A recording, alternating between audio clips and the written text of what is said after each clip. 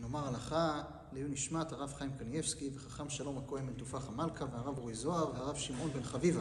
זכר צדיקים וקדושים לברכה, זכותם יגן עלינו ועל כל ישראל, ולהבדיל לרפואת דוד בן רבקה, משה בן אליינה, שהקדוש ברוך הוא ישלח להם רפואה שלמה מן השמיים, בתוך שאר חולי עמו ישראל, אשתה בעגלה ובזמן קריב ונאמר אמן.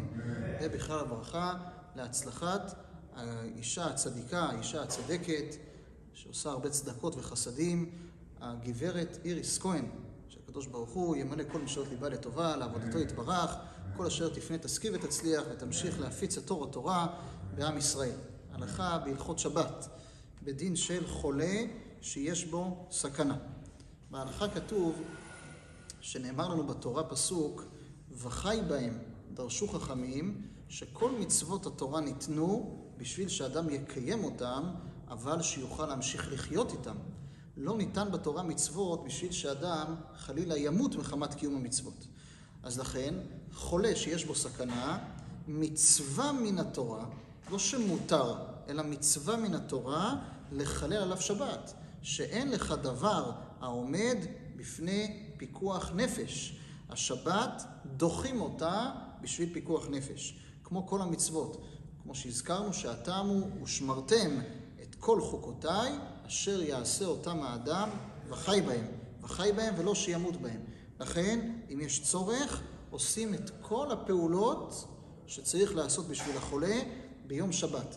חז"ל אומרים, הכלל הוא שבת לגבי חולה שיש בו סכנה, הרי הוא כיום חול לגבי כל הדברים הצריכים להם.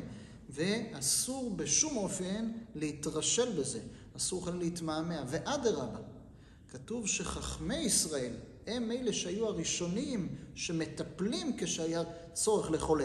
אם היה חלילה באיזה בית כנסת, יש מישהו שנפל, צריך לטפל בו. הרב של הבית הכנסת עצמו היה מרים את הטלפון, מזמין הצלה, מזמין מישהו שיבוא לטפל בחולה. לא היה מחכה שמישהו יעשה, הוא בכבודו ובעצמו עושה את זה. למה? להורות לכולם שהתורה הקדושה, כל משפטי התורה זה רחמים וחסד ושלום בעולם. דרכיה דרכי נועם וכל נתיבותיה שלום. יש שהיו אומרים, מהמינים, מהכופרים שהיו אומרים, שזה חילול שבת, ואסור לעשות את זה. על זה נאמר, גם אני נתתי להם חוקים לא טובים ומשפטים, לא יחיו בהם. ואדרבה, כתוב בהלכה שמי שזריז לחלל שבת במקום פיקוח נפש, הרי זה משובח. ברוך אדוני לעולם, אמן ואמן.